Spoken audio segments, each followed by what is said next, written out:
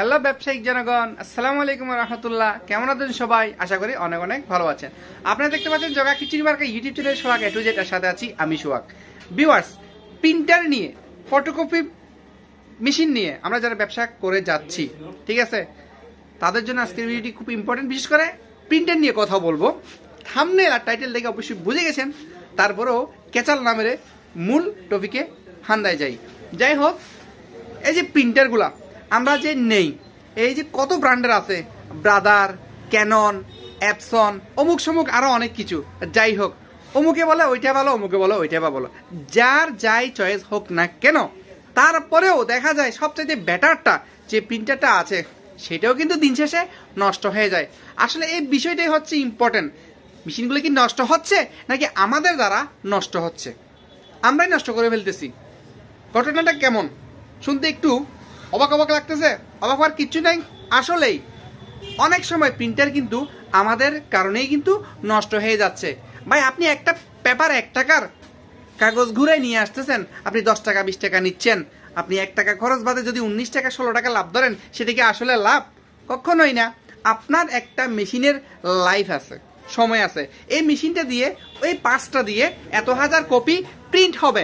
তাহলে আপনি ডিভাইড করেন আপনার পেপারের সাথে, কাগজের সাথে, টাকার সাথে যদি ডিভাইড করেন, দেখবেন আপনার টোটাল অ্যামাউন্টটা কত আসতেছে। একটা ফটোকপি মেশিন উদাহরণ নিলাম। দেখা যায়, এই মেশিনটা এক লাখ বিশ হাজার টাকা দিয়ে আপনি নিচ্ছেন, বা দেখা গেল ছোটো মেশিন ষাট হাজার টাকা দিয়ে নিচ্ছেন। তারা বলবে, সত্তর হাজার কপি পর্যন্ত আপনাকে আমরা এই সার্ভিসটা দিচ্ছি। তার মানে হচ্ছে, সত্তর হাজার কপি পর্যন্ত আপনার ড্রাম বলেন, এই বলেন, অমুক সমুক সব কিছু মিলে আপনাকে একটা সার্ভিস দিবে। তারপরে কিন্তু আপনার কাজ আসবে। তাহলে আপনাকে ধরে রাখতে হবে, সত্তর হাজার কপিতে আপনার ওই ষাট হাজার টাকা চলে যাচ্ছে। প্রতি কপিতে কত করে যাচ্ছে, সেটা একটু মাথায় আপনারা হিসাব রাখবেন। আর যেটা মূলত বিষয় প্রিন্টারের কথা। প্রিন্টার দুলবালুর কারণে নষ্ট হয়, যেটা আমাদের হাতে আমরা নিজেরা নষ্ট করতেছি। সেটা হচ্ছে যে ভিডিওর মূল টপিক সেটাই বলতেছি আপনাদেরকে।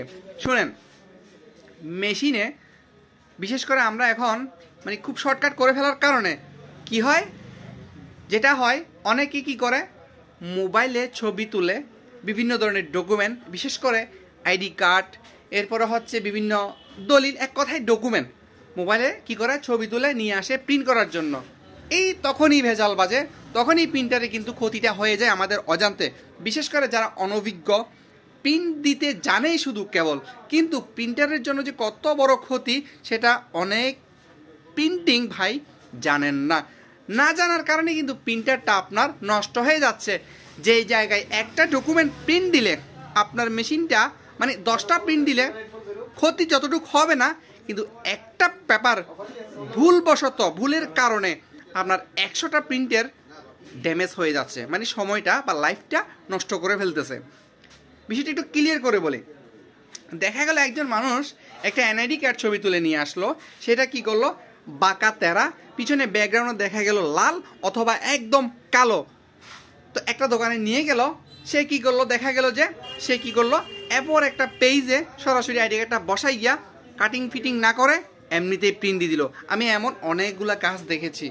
অনেক সময় কাস্টমার নিজেই বলে যে, ভাই এডিটিং করতে হবে না, যেমনি আছে এমনিতেই দিয়ে দেন।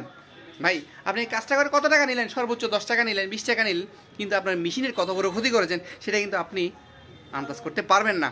কারণ হচ্ছে আপনার হেড দিয়ে যে কালির একটা পরিমাণ বের হবে, আপনার যখন পেপার অতিরিক্ত ভিজে যাবে, কালি বেশি বের হয়ে যাবে কালার আপনি দিচ্ছেন, না দিচ্ছেন না কেন? কিন্তু ব্ল্যাক যে কালিটা, বিশেষ করে ব্ল্যাক যে কালিটা আছে, সেটা যখন আপনার বাড়তি পেজ ভিজে যাবে, শুধু কালোটা না অ্যাভারেজ যে কোনো কালারই ঠিক আছে? যে কোনো কালারই আপনার অতিরিক্ত যখন পেজ দিয়ে আসবে পেজে যখন ভিজে যাবে, তখন কি হয়?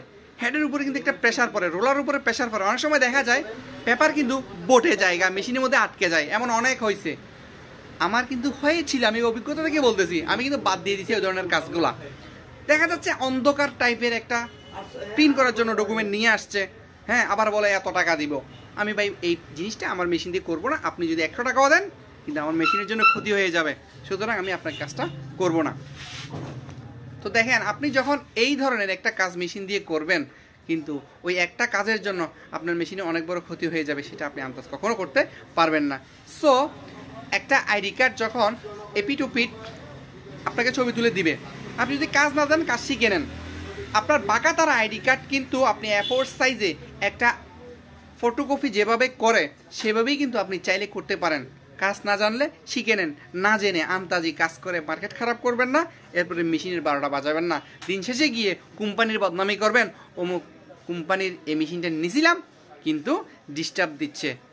নাচতে না জানলে উঠান বাগা সেটা কিন্তু বলা যাবে না। সো আপনি নিজে কাজের প্রতি একটু অভিজ্ঞ হন। ধরেন, আমি আপনাদেরকে একটু স্যাম্পল দেখাই। অলরেডি আমার এখানে দুইটা আইডি কার্ডের কাজ চলতেছে, দেখাই আপনাদেরকে। এই দেখেন। এই দেখেন। এই আইডি কার্ডগুলো কিন্তু জেনুইনই এখানে দেখেন, এখানে একটু খেয়াল করলে দেখেন। এই আইডি কার্ডগুলো এখানে কিন্তু অন্ধকার, এখানে অন্ধকার, এগুলা কেটে আপনাকে এভাবে পরিষ্কার করে বের করতে হবে। তাহলে কি হবে? আপনার যে কালো বাড়তি অংশটা আসবে, সেটা প্রিন্টে আসবে না। পেপার ভিজবে না, পেপার পরিষ্কার আসবে। আর প্রিন্টারে সবসময় যে মানে আপনার লিকুইড যে প্রিন্টারগুলো আছে, সেগুলোতে সবসময় আপনি এইটটি জিএসএম পেপারের উপরে যে পেপারগুলো আছে, সেগুলো ইউজ করবেন। কখনও সিক্সটি ফাইভ বা সেভেন্টি জিএসএম এর পেপার ইউজ করবেন না। এতে করে আপনার হয়তো চারানা বাঁচবে বাট মেশিনের আবারও সেই ক্ষতিটা হয়ে যাবে। আমি সবসময় এই হেল্পফুল ভিডিওগুলো বানাই শুধুমাত্র আপনাদের স্বার্থে। এখানে আমার যে একদম লাভে ভেয়ে যাচ্ছি, তা কিন্তু নয়। সো ভিডিওটার ফিডব্যাক কমেন্টে লিখে জানাবেন। অবশ্যই আপনার মতামতটুকু লিখে জানাবেন। ভিডিওটা ভালো না লাগার যে বিষয়টা আছে, সেটা অবশ্যই কমেন্টে লিখে জানাবেন। আরও এ ধরনের হেল্পফুল ভিডিও পেতে আমার এই গরিবের ভাঙাচুরা ইউটিউব চ্যানেলটাকে সাবস্ক্রাইব করে নোটিফিকেশন বেল আইকনটি বাজিয়ে বিদায় নিচ্ছি, ভালো থাকবেন, সুস্থ থাকবেন, দেখা হবে পরবর্তী ভিডিওতে আল্লাহ হাফেজ।